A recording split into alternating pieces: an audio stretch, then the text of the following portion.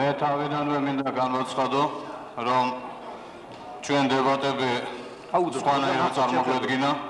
თავის დროზე სწორედ ჩვენი ფრაქცია იყო ინიციატორი იმისა, რომ ორივე მხარეს მიმართეთ პრობლემის მოსახსნელად გარკვეულ კომპრომისზე წამოსულიყვნენ და 8 ნოემბერს დანიშნულიყო ეს სხდომა. ну, რა კი, ვთქვათ, ამჟამად ასეთი ფორმით წარიმართა ეს სხდომა. მე მინდა თავიდანვე დავაფიქსირო ის, რომ მე არ მივეკუთვნები და ჩვენი ორგანიზაცია, ფრაქცია რესპუბლიკელები არ მიეკუთვნება აქ წარმოდგენილი არც ერთი უკვე ვინც ილაპარაკა გულისხმობს სახელმწიფოს მეტაურს და ბატონ თემურ ჯორჯოლიანს, არც ერთ ფრთას.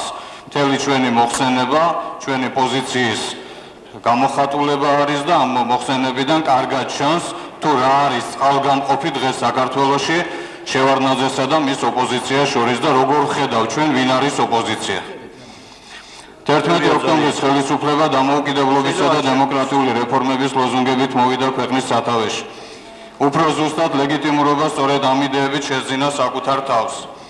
დეკლარირებული დამოუკიდებლობის სურვილი სტრატეგიულ ამოცანად იყო გამოცხადებული ბატონი შევარდნაიცსა და ყველა მეტნაკლებად გავლენიანი პოლიტიკური ძალის მიერ. ქვეყნის დამოუკიდებლობის ხარისხი ცალსახად მაღალი განისაზღვრა, როგორც რუსეთისაგან მოშორების, ანუ რუსეთის საქართველოსთან გასვლის ამოცანა. საბჭოთა იმპერია ჩვენთვის რუსეთის იმპერიის მორიგი ფორმა იყო.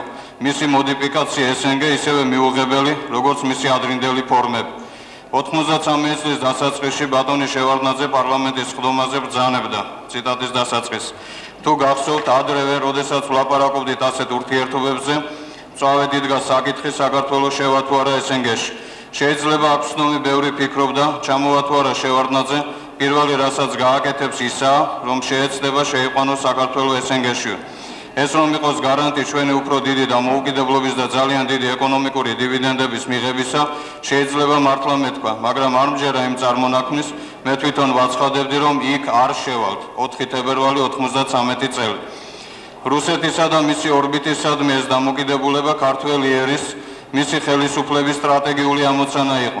იგი ტაქტიკური ლავირების სფეროს არ განეკუთვნებოდა. ამისნის განხორციელების ფორმებზე ედავებოდნენ ერთმანეთს ჩვენი ინტელექტუალები, პოლიტიკური ძალები.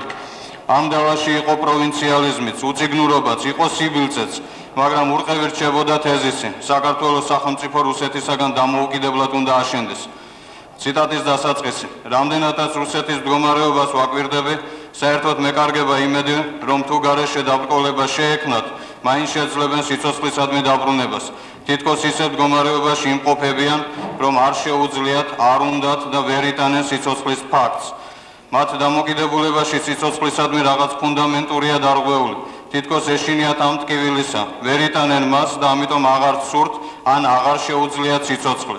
ჩვენ კი ქართველებს გაგვაჩნია რაღაცგვარი მე ვიტყოდი აფრენილი სუბუქი მაგრამ ძალიან მყარი და ღრმად ფესვგანგარი სიყვარული სიცოცხლისადმი შეიძლება ამან გადაგვარჩინოს და აგვატანინოს ეს გარდოვალი ტკივილი ეს ბატონ მერაბ მამარდაშვილის სიტყვებია. ამ იდეებს გადაგებდა აკაკი ბაქრაძე უნივერსიტეტში ბიბლიოთეკებსა თუ ქარხნებში 70-იან 80-იან წლებში.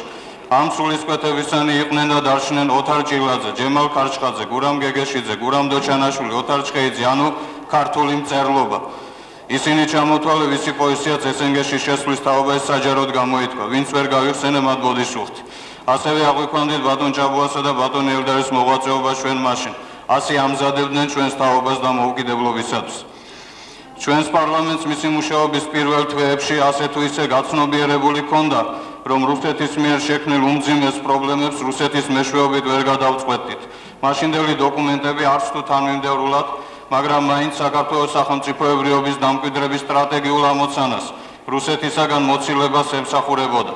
შეგახსენებ ჩვენს დადგენილებას 93 წლის 25 თებერვალს. დაუშვებლად იქნეს მიჩნეული აფხაზეთის ტერიტორიაზე რუსეთის საჯარისო ნაწილების შემდგომი ყოფნა. დაევალა საქართველოს რესპუბლიკის პარლამენტის თავმჯდომარეს სახელმწიფოს მეთაურს აწარმოოს მოლაპარაკება რუსეთის ფედერაციის პრეზიდენტთან კონფლიქტის ზონიდან რუსეთის საჯარისო ნაწილების გაყვანის თაობაზე. სიტუაციის კრიტიკულობას გრძნობდა სახელმწიფოს მეთაურიც. ყოველ შემთხვევაში მისი სიტყვებიდან ასეთი დასკვნა უნდა გამოეტანა მიუკერძოებელ ადამიანს. იგი ამბობდა: ღირსეულად დავამთავროთ ეს ომი. მე უფრო კატეგორიულად ჩავწერდი. მთელი პასუხისგებლობა ეკისრება ყველა იმ მიმართებით, ეროვნული ინტერესების დაცვისათვის, აფხაზეთის შენარჩუნებისათვის, ტერიტორიული მთლიანობის შენარჩუნებისათვის, თავდაცვის სახელმწიფო საბჭოს, მის თავმჯდომარეს სახელმწიფოს მეთაურს, პრემიერ-მინისტრს და შესაბამისად ჩვენ ორივე მზად ვართ, წარდგეთ პარლამენტის სასამართლოს წინაშე თუ ამას არ შევასრულებთ. 4 თებერვალი 93 წელი. ხოლო პარლამენტის იგნორირება ბატონ შევარდნაძეს ხალხის იგნორირებად მიაჩნდა. იგი ამბობდა, პარლამენტი ეს არის დემოკრატიული განვითარების გზა. ნუ რავინ შეეცდება რომ შეგვაბრუნოს ამ გზიდან. ვერავინ ვერ შეძლებს ამას, ვერც ერთი კაცი, რა თანამდებობაც უნდა კონდეს და როგორი გიგანტური გავლენაც უნდა კონდეს. 27 აპრილი 93 წელი. ფრიად სამწუხაროა რომ პარლამენტის იგნორირება ბატონმა შევარდნაძემ არაერთხელ შეძლო. თუნდაც მაშინ როცა ერთხმად მიღებული გადაწყვეტილების საწინააღმდეგოდ ბატონ ჯაბა იოსელიანს 14 მაისის კაბალურ შეთანხმებაზე ხელმოწერის დასტური მისცა. დეკლარირებული სტრატეგიული მიზნების ჩარჩოებში ეტეოდა რუსეთის საულტო სივრცეში შესვლის მიუღებლობა. ამ სივრცეს სხვა სივრცეები მოყვებაო. ნაზარბაევის ამ მიმართულების ცდელობა საკმაოდ მკვახე შეფასება მისცა. ეს რუსეთთან ჩახუტების პოლიტიკაო. უნდა გავაკეთოთ არჩევანი. ბატონ შევარდნაძის სიტყვებია. ჩვენ ვიაროთ რეალური დამოუკიდებლობის მიღების გზით, განსაკუთრებით იმ პირობებში და იმ მოვლენების ფონზე, რაც ახლა რუსეთში ხდება 93 წლის 25 მარტი. სტრატეგიული ხაზი სრულიად არაადეკვატური იყო იმ დროინდელი ტაქტიკური ნაბიჯები. პარლამენტის არჩევნებამდე ჯერ კიდევ დაგომისის შეთანხმების დროს 3 სექტემბრის შეთანხმების დროს შემდეგი ნახევარი წელიწადი რუსეთთან ორმხრივი უშუალო ურთიერთობების ლოზუნგით SNG-ს მრავალმხრივ ჭყალებში ურთიერთობების თითქოს და საპირისპიროდ მიმდინარეობდა არსებითად SNG-ს პრინციპებზე აგებული სამხედრო, ეკონომიკური, პოლიტიკური ხელშეკრულებების დადების მცდელობა. ყალიბდებოდა რუსული სივრცე ფორმულით SNG + საქართველო. ეს კონტაქტები იყო არა SNG-ს ალტერნატივა, არამედ SNG-საკენ გადადგმული ნაბიჯები.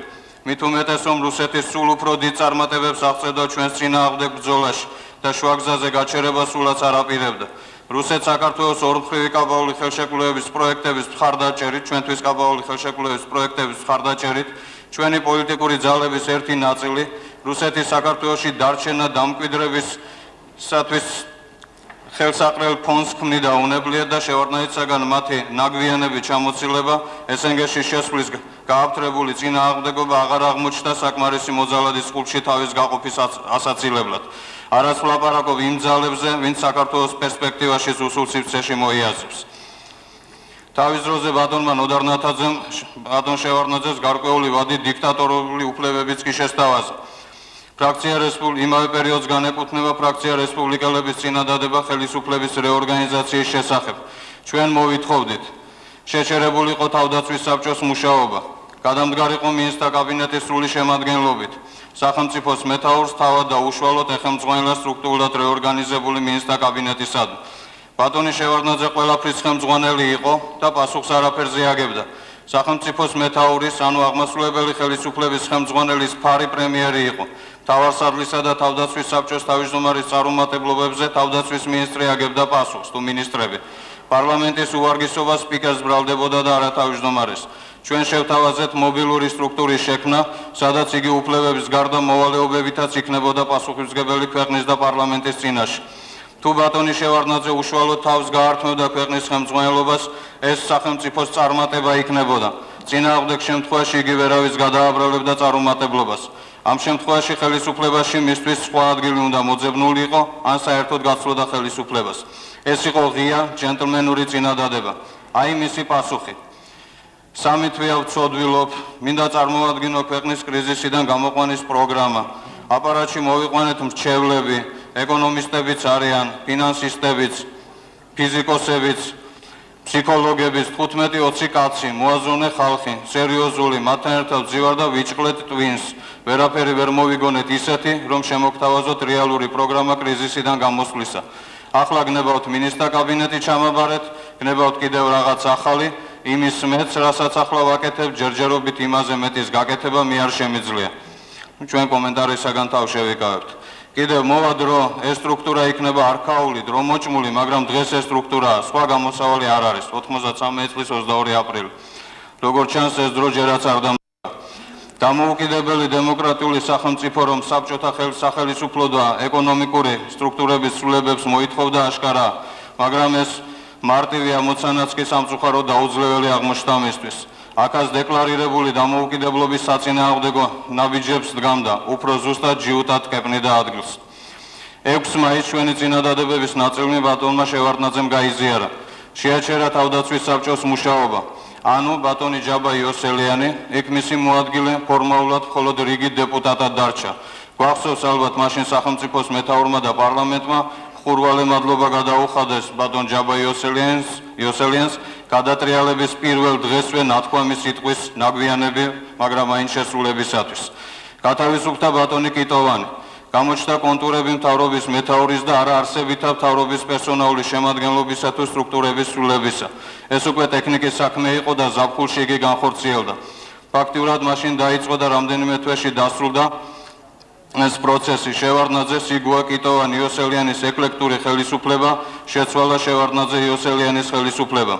ბატონ ფაცაციას გაპრემიერებას ბუნებრივია რაიმე კორექტივი არ შეუტანია. 93 წლის მარტში მოპოვებული სამხედრო უპირატესობის სოხუმზე დიდი შეტევის მოგერიების შემდეგ აი ამ უპირატესობის გარღვევების ნაცვლად სახელმწიფოს მეთაურმა 93 წლის 14 მაისს მოსკოვში ხელი მოაწერა აფხაზეთის პრობლემის შვიდობიან დარეგულირების მორიგ დოკუმენტს. როგორც ყველა მანამდელი, ისე შემდგომი დაზავება სამხრივი განიარაღებით აღინიშნა და მას მოწინააღმდეგის ძალების მოკრება, სოხუმის დაბომბვები, შემდეგ 27 ივლისის კაპიტულაცია და ბოლოს 27 სექტემბრის კატასტროფა მოყვა.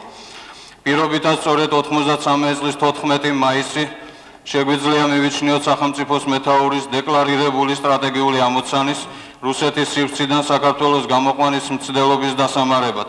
ამასთანავე ამ ამოცანის სრულიად არაადეკვატური, მისი საპირისპირო ტაქტიკური ნაბიჯების შედეგად თავადვე განსაზღვრა ეს კრახი. არ ღირსჯელობა იმაზე ეს წინასწარ განზრახული იყო თუ უკიდურესი პოლიტიკური არაკომპეტენტურობის შედეგი. პირადად ჩემი აზრით ეს პოლიტიკური კრახი უფროა.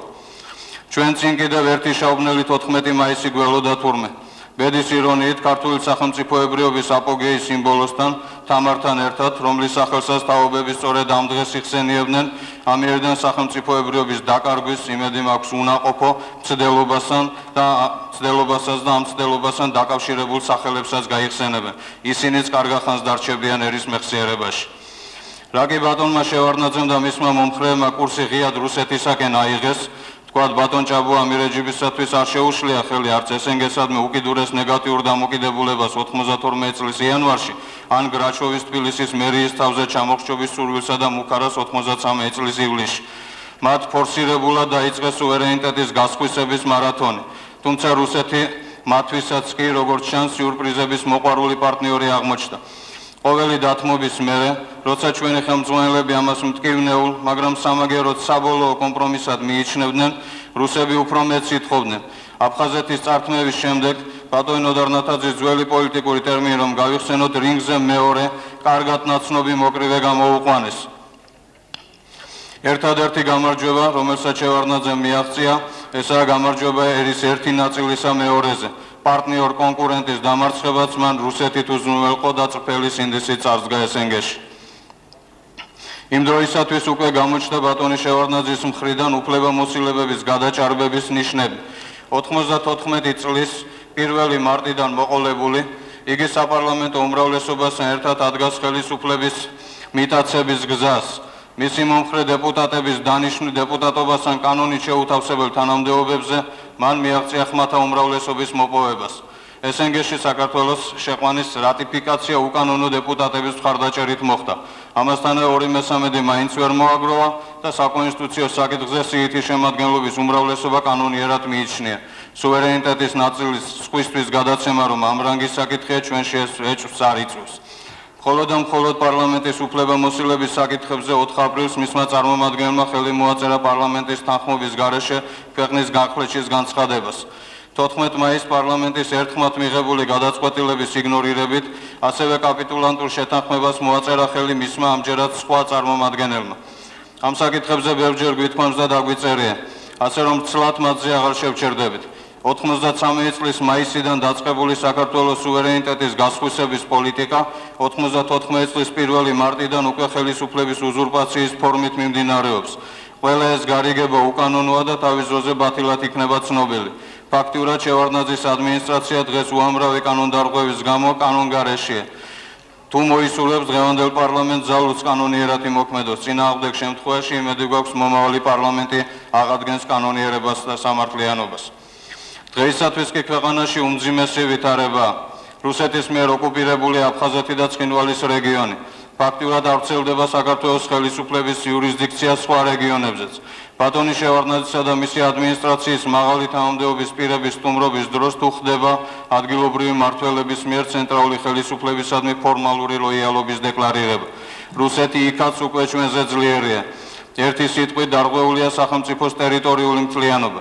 ქვეყანაში დათარეშობენ რაიონული მასშტაბის თუ უფრო მსხვილიც კრიმინალური და მაფიოზური ბანდები, რომლებიც ოფიციალურ ხელისუფლებაზე უფრო ეფექტურად აკონტროლებენ ადგილებზე სიტუაციას.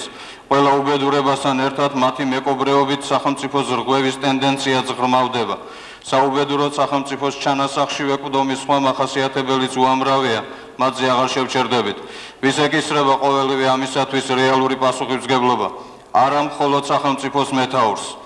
მასთან ერთად დამნაშავეა საპარლამენტო უმრავლესობა და მეწილად საბჭოთა ადამიანები დაკომპლექტებული მთავრობა. სხვათა შორის ჩვენს პარლამენტში ციგნიერებისადმი ალერგიაც კი შეიმჩნევა. გაიხსენოთ ვის გაუჭირდა ministrებიდან 112 ხმის მოგროვება. საპარლამენტო უმრავლესობაში მხოლოდ ფრაქციათა კოალიცია უმრავლესობას არ გულისხმობს. ქვეყნის გაუბედურებაზე პოლიტიკური პასუხისგებლობა უნებრივია ნაკლები დოზით ეკისრება იმათაც ვინც სხვადასხვა ეტაპზე უზრუნველყოფდა ბატონი შევარდნაძის არასახელმწიფოებრივ კურსს საგარეო თუ საშინაო პოლიტიკაში. ვისაც SNG+ საქართველოს აკმაყოფილებდა და ვერ ხედავდა რომ მალე იგი უბრალოდ SNG გახდებოდა ვინც არ იბრძოდა ხელისუფლების რეორგანიზაციისათვის ვინც 93 წლის 14 სექტემბერი აკადრა ქართველ ერს ჯერ პარლამენტის შენობის წინ დააჩოქეს ყალბი ილუზიები და იმედით შეპყრობილი ქართველები. მეწილა წესიერი ხალხი და მხოლოდ საშინაო მონობის უღლის დემონსტრირების შემდეგ დაგვადგეს რუსეთის უღელი, ანუ როგორც ბატონი შევარნაძე ბრძანებდა დააჩოქეს საქართველოს. პასუხისგებლობა ეკისრება იმათაც, ვინც 94 წლის მარტში უზრუნველყო ანტირეფორმატორული მთავრობის დამტკიცება პარლამენტში, ვინც ხუებს აჯერებდა რომ ერთი მერცხალი გაზაფხულს მოიყვანდა. ამ საქციელით ხომ ხელისუფლების სტრუქტურული რეორგანიზაციისა და მომზადებელი თუ ოდიოზური ministrების გაშვებისაგან იხსნეს შევარდნაძე. მათ არ გაილაშქრეს რუსის ჯარის ენგურზე ჩადგომის წინააღმდეგ და ოკუპირებულ აფხაზეთს ნახევარი სამეგრელო მიუმატეს რუსთა საგამგეოდ. და მოუკიდებელი დემოკრატიული საქართველოს შექმნას ორი უმთავრესი მახასიათებელი სჭირდებოდა: რუსეთის სამხედრო, ეკონომიკური და პოლიტიკური სივრციდან გამოსვლის მძიმე პროცესის დაწყება და რეფორმები. როგორც მათთვის, ისე ბატონის შევარდნაძისათვის და მოუკიდებლობის ასეთი გაგება უცხო აღმოჩნდა. ყოველივე ამის შემდეგ რა გასაკვირია, რომ შევარდნაძე არძიმბა შეხვედრა მათთვის ბრძნული პოლიტიკის კატეგორიებს მიეკუთვნება. ისიც მახსენდება, რომ არძიმბასთან შეხვედრის შემდეგ ზოგმა ბატონი შევარდნაძე ლამის დემეტრე თავდადებულ შეადარა. სახელმწიფოს ხელმძღვანელს ქვეყნის გადასარჩენად კრიტიკულ სიტუაციაში თავის გაწირვის არა მარტო უფლება აქვს, ეს მას ევალება კიდეც. გემის კაპიტანი კატასტროფისას არ გარბის, მაგრამ როცა ასეთი ნაბიჯის შემდეგ ერს ღირსებას ღირსებას ელახება, პოლიტიკურათაც აგებს, რაგის სამწუხაროდ მისი სახელმწიფოს მეთაურის სიტუაციისადმი სრულიად არაადეკვატურ ნაბიჯს დგამს, გაუგებარია გუდაუთაის შასვლით ქვეყანამ რა მოიგო. ნუ თუ რამდენიმე ათეული გაუბედურებული ოჯახის ბედის ანაბარა გალში შეშვება არძიმბასთან სტუმრობის პოზიტიური შედეგი. მე საქმე უფრო მარტივად მგონია. როგორც ელცინს აღუთქვა ბატონმა შევარდნაძემ სოხუმში კი შემეპარაკიტოვანი, მაგრამ გუდაუთაში არაფრით არ შეუშვებო. ამას საქართველოს პარლამენტი ორი წლის დაგვიანებით რომ იგებს რუსეთის ტელევიზიით, ეს ალბათ პარლამენტის უძლეველობის ზემოთ მოყვანილი შევარდნაძისეული სიტყვებისადმი მისთვის შეეული ერთგულება. ისი ამჟამად უკვე გრაჩოვის დონეთ საკმარისი აღმოჩნდა წაჩხუბებული უკვე რანგში გათანაბრებული მარიონეტების შესარიგებლად. ჩვენ არაერთხელ გვითქვამს, რომ გაერთიანებული რესპუბლიკური პარტია და მისი ფრაქცია რესპუბლიკელები მოითხოვს რუსეთზე ორიენტირებული და რუსეთის პატრონობით შექმნილი ხელისუფლების კურსის ცვლილებას და არა მხოლოდ პერსონალიების ცვლილებას ამ ანტიეროვნული კურსის გამტარებელ ხელისუფლებაში. რუსეთში მიმდინარე პროცესები გვარწმუნებს, რომ დღეს და უახლოეს მომავალში არ მოხერხდება რუსეთ-საქართველოს ერთობლივ ინტერესთა ისეთი ბალანსის მოძებნა, რომელიც არ შელახავდა საქართველოს ინტერესებსა და სუვერენიტეტს. წელიწად ნახევრის წინ და უფრო ადრე ბატონი შევარნაძეც ამას ეუბნებოდა პარლამენტს. ამდენად ჩვენთვის პრინციპული მნიშვნელობა არ აქვს ასეთ კურ შევარნაძე იოსელიანის ხელისუფლება გაატარებს თუ მასთან ხან დაპირისპირებული ხან შეხმატკბილებული უკეთესი რუსეთ უმეობის პრეტენზიის მქონე სხვა ძალები.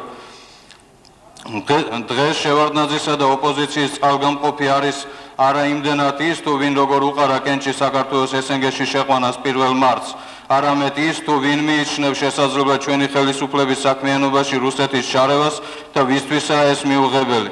ჩვენი და რამდენიმე პოლიტიკური ორგანიზაციის პოზიცია ცალსახა სხვების ამჟამინდელი პოზიციების ნათლად ჩამოყალიბება განსაზღვრავს ჩვენი მათთან თანამშრომლობის შესაძლებლობას. რამდენიმე სიტყვით განმარტავთ თუ რას გულისხმობ ტერმინში შევარდნაძე იოსელიანის ხელისუფლება. ჩვენი შეხედულებით ესა ერთგვარი არამყარი კოალიცია, რომელიც აქტიურად თანამშრომლობს როგორც საშინაო, ისე განსაკუთრებით ბოლო ხანებში საგარეო პოლიტიკის საკითხებში. მომავალი არჩევნებისადმი ისინი დამოუკიდებლად ემზადებიან. ბატონი შევარდნაძე მოქალაქეთა კავშირით, ბატონი იოსელიანი მაშველთა კორპუსითა და ახლახან ჩამოყალიბებული საზოგადოებრივი ორგანიზაციით არჩევანი. საილუსტრაციოდ გეტყვით, რომ 13 ნოემბერს ვაკის ოლქში პარლამენტის წევრის არჩევნებში მოქალაქეთა კავშირის კანდიდატია მეწარმე ბატონი ცკიტიშვილი, იოსელიანის წრისაკი კონკავშირული წარსულის მქონე ბატონი ბეგიაშვილი. არსებული შევარდნაძე იოსელიანის კოალიციის ფარგლებში ისინი კონკურენტები არიან. ჩვენთან დამოკიდებულებაში კი ერთიანი. სწორედ მათ წინააღმდეგ წარმოადგენა გაერთიანებულ რესპუბლიკურმა პარტიამ ბატონი ლავროვის შევარდნაძის კანდიდატურა. კიდევ ერთხელ გაგაცნობთ ჩვენს პოზიციებს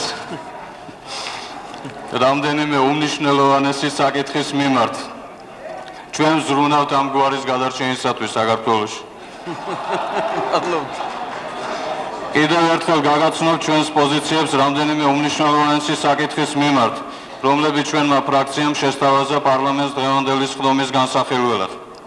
პირველი რესპუბლიკელების მიერ წელიწადნახევრის წინ შემოთავაზებული საკანონმდებლო და აღმასრულებელი ხელისუფლების რეორგანიზაციის პროგრამის და ამ პროგრამის შესაბამისი კონკრეტული კანონპროექტების უგულებელყოფა ქვეყანას ზვირად დაუჯდა. დღეს რეორგანიზაციის საჭიროება კიდევ უფრო აქტუალურია. ბუნებრივია ჩვენ არ ვფიქრობთ, რომ სახელმწიფოს მეთაური და საპარლამენტო უმრავლესობა ამჟამად მაინც აღმოჩნდება მზად ასეთი კარდინალური ცვლილებებისათვის. ჩვენ იზღად აღჩენია, რომ ჩვენი პროგრამით შევხვდეთ ახალ საპარლამენტო არჩევნებს და წარმატების შემთხვევაში დავიწყოთ მისი რეალიზაცია. აქვე აღნიშნავთ, რომ ქუჩის აქციები და პროცესების პარლამენტს გარეთ გატანის სხვა ფორმები ჩვენთვის პრინციპულად მიუღებელია. ობიექტურად იგი რუსეთის ინტერესების დაცვის მექანიზმია და ბატონ შევარნაძისადმი დიდ შევარნაძისათვის დიდი ალბათობით მომგებიანი მტრის ხატის შექმნის შესაძლებლობა. რუსეთთან დამოკიდებულების შემდეგ ეს მეორე პარამეტრია, რაც ჩვენ პრინციპულად გვასხვავებს ბევრი პოლიტიკური ჯგუფისაგან.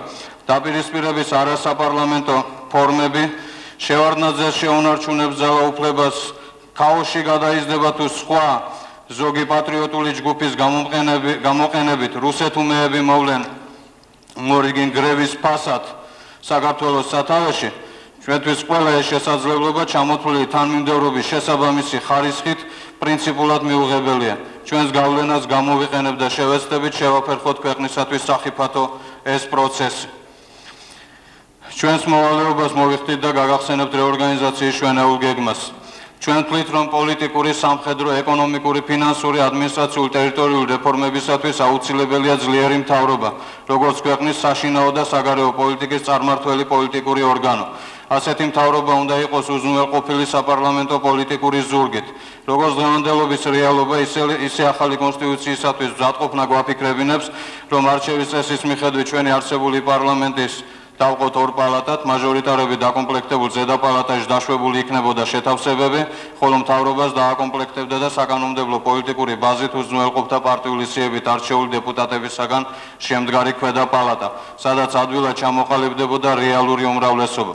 თუ ამას კონსტიტუციის მიღებამდე და ახალ საპარლამენტო არჩევნებამდე გავაკეთებდით, კიდევ ერთ წელიწადს აღარ დავკარგავდით. შევარნაძის ხელისუფლებაში ყოფნის საჭიროება ჩვენ არ ვხედავთ, მაგრამ რეორგანიზაციის ჩვენეული გეგმის მიღება უფრო ფასეულად მიგვაჩნია, ვიდრე მისი ყოფნა არ ყოფნა ხელისუფლებაში. ასეთი რეორგანიზაციის შემთხვევაში ბატონი შევარდნაძის უფლებამოსილებანი განისაზღვრებოდა ფაქტიურად როგორც საპარლამენტო რესპუბლიკის პრეზიდენტის უფლებამოსილებანი. ხოლო ქვეყნის რეალურ რეფორმატორულ საგარეო თუ საშინაო პოლიტიკას გაატარებდა მინისტრთა კაბინეტი.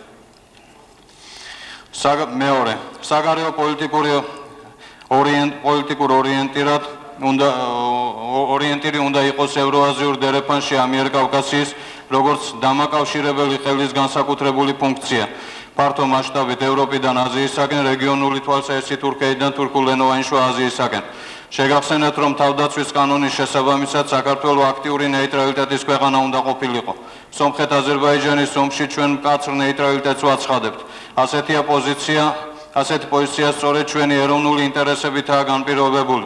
ამასთანავე არასთვის არავისთვის საიდუმლო არაა, რომ საქართველოს ტერიტორიაზე განლაგებული რუსის ჯარი და საერთოდ საქართველოს მაკონტროლებელი რუსეთი აზერბაიჯანის სომხეთის ომში საკუთარ პარტნიორს ეხმარება. ფაქტურად დარღვეულია ჩვენი ისტორიული ფუნქცია მეზობელ ქვეყნებთან ურთიერთობაში.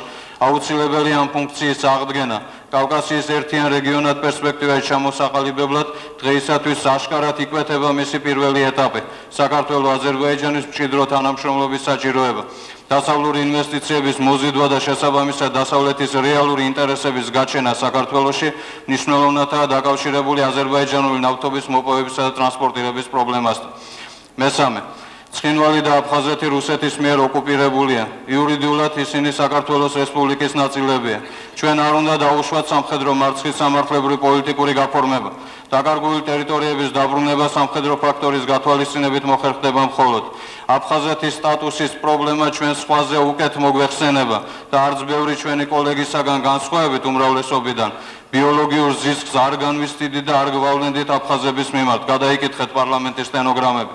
სტატუსის აფხაზეთზე საქართველოს იურისდიქციის რეალური გავრცელების პროცესში განისაზღვრება საქართველოს კონსტიტუციის ანუ ჩვენ რასაც თulit საჭიროთ იმის მიხედვით და დიალოგიც ქართველებსა და აფხაზებს შორის ამ ფონზე შუამავლის გარეშე შედგება. აქვე უნდა გითხრათ რომ ბატონმა შევარდნაძემ და საპარლამენტო უმრავლესობამ ბევრი მოახერხეს ისეთი რომ ეს პროცესი დღეს ვერ დაიწყოს. ცხინვალის რეგიონის პოლიტიკური ავტონომია საბჭოთა პერიოდშიც კი არ ქონია და ამ მიმართულებით სულა ვისგანაც უნდა მომდინარეობდეს ინიციატივები უპერსპექტივოა ამ რეგიონის სტატუსი საქართველოს კონსტიტუციის თემა. აფხაზეთის პრობლემის მოგვარების ანუ საქართველოს აფხაზეთში რეალურად დაბრუნების დაწყებამდე ჩვენთვის ყველა თვალსაზრისით მიუღებელია ცხინვალის ზონის სტატუსზე ვინმესთან მოლაპარაკება საქართველოს ფედერალიზაციის გეგმა, რომელსაც ასლან აბაშიძეც კატეგორიულად მოითხოვს, არის რეალურად სუსტი ძაფებით დაკავშირებული კონფედერირებული ერთეულების კავშირი, სადაც თბილისისაგან აბსოლუტურად დამოუკიდებლად თითოეულ ცენტრს გააკონტროლებს მოსკოვი. დღევანდელი დამარცხებული საქართველოსთვის რაიმე ხელშეკრულებაზე ხელმოწერა ჩვენი უძლურების გამო მიუღებელია. მეოთხე ამ პოზიციების გამოხატვის შემდეგ ალბათ არ გაგიკვირდებათ რომ აცუდა ტუდას ჩვენეული ინტერპრეტაციის გამო რუსის სამშვიდობო ბჭყალებში ჯარების ყოფნის გაგრძელება აფხაზეთ სამეგრელოში საჭიროდ არ მიგვაჩნია. ასევე არ მიგვაჩნია საჭიროდ რუსეთის სამხედრო ბაზების საქართველოში დატოვება და ეს ალბათ ერთადერთი საკითხია, სადაც რესპუბლიკელები და ბატონი ჯაბაიოსელიანი დღეს ერთმანეთს ვეთანხმებით. იმის გასარკვევად რუსეთთან ინტეგრირება იძლევა ქართველთა სახელმწიფოს და საერთოდ ქართველობის გადარჩენის შანსს თუ რუსეთისაგან მოშორება მოშორება დასასულ კიდევ ერთხელ დავემოწმე ბატონ მერაბ მამარდაშვილის სიტყვებს რომელიც ბევრისათვის აქვს თომთათვის შეუვალი ავტორიტეტია. ზოგის მეგობარი იყო ზოგი კიდე მას პატივისცემით მოიხსენიებს პრეზიდიუმში და დარბაზშიც 30 წელი ვიცხოვრე რუსეთში იმ რწმენით რომ ქართველი ვარ და რომ ქართველები მაინც არა ვართ ისეთი ბნელი როგორც რუსები მხედველობაში არ მყავს განათლებული ადამიანები, მეცნიერები და ასე შემდეგ. მე ვგულისხმობ სამოქალაქო სიბნელეს, აზროვნებას, რომელიც ნაწილია ჩვენი ცხოვრებისეული საქციელისა. ფიქრობდი, რომ რაკი ქართველები უფრო სიცოცხლის მოყვაული ხალხია, იუმორის გრძნობა აქვთ, გული შერჩენიათ, აქვთ ჩვენი ძველი რაინდობის ხატი ინდივიდუალისტები არიან, скептикოსები და ასე შემდეგ, მათი ბოლომდე დამონება მაინც შეუძლებელია. ამის კონსტატაციას ვაკეთებდი ყოველდღე მოსკოვში და მის შემოგარენში.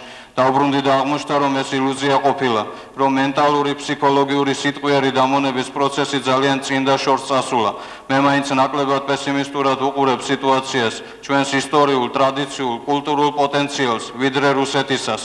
იქ ვგონებ ვითარება მართლა შეუქცევადია და რუსი რომ ცხედავდეს და უნდოდეს ვერაფერს გახდება.